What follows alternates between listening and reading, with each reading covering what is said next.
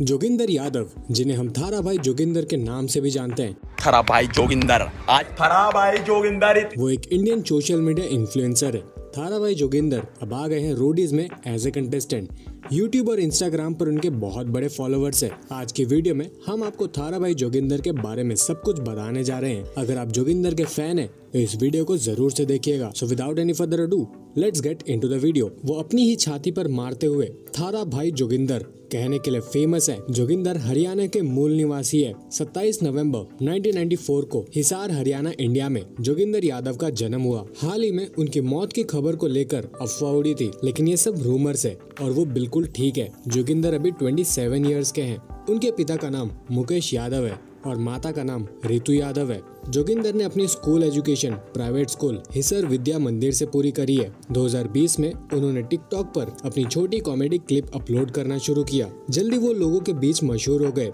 आज social media पर उनके लाखों में फॉलोअर्स है। रोडीज के इंटरव्यू में जोगिंदर ने बताया कि किस तरह वो 18 करोड़ के स्कैम में ना चाहते हुए भी इन्वॉल्व हो गए थे। एक बच्चे को स्पाइनल मस्कुलर अटोरपी से बचाने के लिए उन्होंने अपने सोशल मीडिया के थ्रू फंड्स कलेक्ट करने शुरू कर दिए थे। उन्होंने लगभग 2.5 करोड़ इकट्ठे करे थे। लेकिन उन्हें फिर एनजीओ से पता चला कि अब लॉटरी के थ्रू उस बच्चे का फ्री में ट्रीटमेंट होने जा रहा है। तो जो पैसे कलेक्ट हुए थे, उनका कोई यूज़ नहीं रहा। जोगिंदर ने ये गलती की कि वो पैसे एक मिडिल अकाउंट में ट्रांसफ़र करने की जगह उनके पेरेंट्स के अकाउंट में डायरेक्ट ट्रांसफ़र करवा दिए। जोगिंदर को एनजीओ का अकाउंट देना चाहिए था। इससे ये हुआ कि लोग उन्हें एक्यूज करने लगे कि उन्होंने स्कैम किया है और पैसे पर्सनल यूज़ के लिए यूज़ कर लिया है। जोगिंदर ने फिर क्लैरिफाई किया कि उन्होंने फाइनली फंड्स एनजीओ में ट्रांसफ़र करवाए। जोगिंदर ने 21 अप्रैल 2020 को यूट्यूब पर अपना चैनल शुरू किया। उन्होंने 21 जुलाई को 3.5 मिलियन व्यूज़ और हज़ारों सब्सक्राइबर्स पा लिए। फिर उन्होंने यूट्यूब पर शॉर्ट वीडियोस अपलोड करना शुरू कर दिया। उनके कई वीडियोस लोगों और बच्चों की मदद करने के लिए है। उनके बोलने का स्टाइल इंटरनेट पर वायरल हो गया।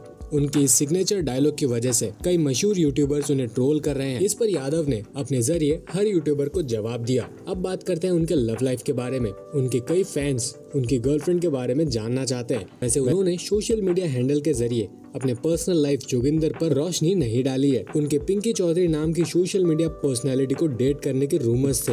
जोगिंदर यादव अपने लंबी करियर से अच्छी खासी कमाई कर रहे हैं। वो अपनी यूट्यूब वीडियो से लगभग 20 से तीस हज़ार अर्न कर लेते हैं। एक सोर्स के मुताबिक उनके net worth five two six crore है। So that's it for today we hope आपको आज की वीडियो पसंद आई हो। इफ़ यस तो वीडियो को लाइक करना ना भूले। और ऐसी ही और वीडियोस के लिए don't forget to subscribe the channel